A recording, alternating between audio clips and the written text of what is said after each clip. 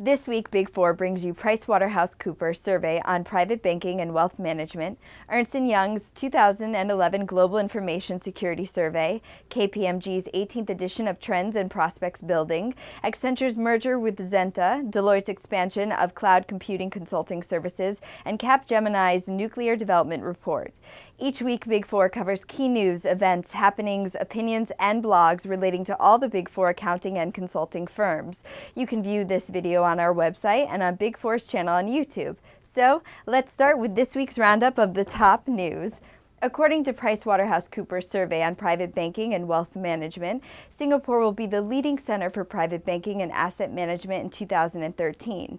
Increased regulatory pressure in Switzerland, London, and New York are emerging as market leaders in the banking industry. This is one of the main findings of the Global Private Banking Survey of 2011, prepared by PricewaterhouseCoopers, based on interviews with 275 organizations in 67 countries. The survey suggests companies should review their business business models and adapt to a new generation of more demanding customers and the challenges of the new regulations promoted by the institutions.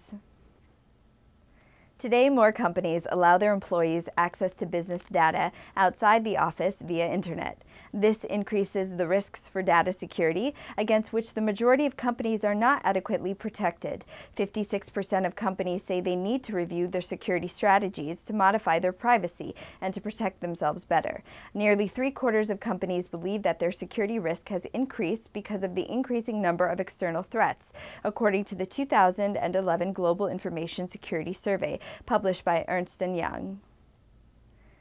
A recent KPMG survey shows after a significant decrease of activity in early 2010, the construction industry experienced the first signs of recovery from the fourth quarter of 2010. The 18th edition of Trends and Prospects Building, which focuses on key points of the construction industry, reports that growth rates in 2010 were close to zero for companies subject to corporate tax and 1% for those subject to income tax. Despite the current economic climate, 74% of managers surveyed are optimistic about the building industry for 2012, a figure roughly comparable to that of 2011. And here are the latest jobs from the Big Four job board. See the site for more details.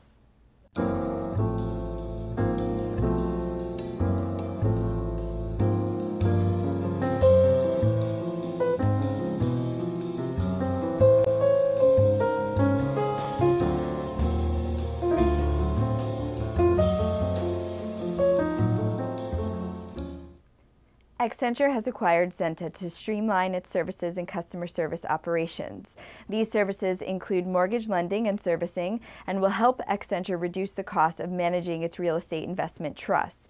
Accenture currently provides its own mortgage processing services through Accenture Credit Services, so acquiring a mortgage processing firm will help the firm deliver services more efficiently and cost effectively.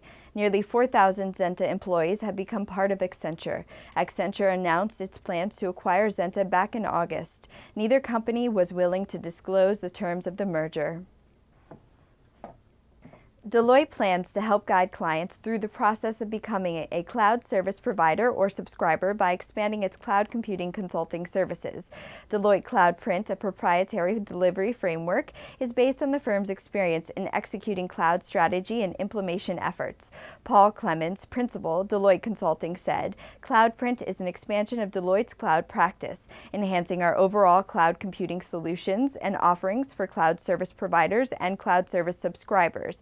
Subscriber editions focus on banking consumer products, health plan, insurance, life sciences, and media, and provider editions focus on technology and telecom.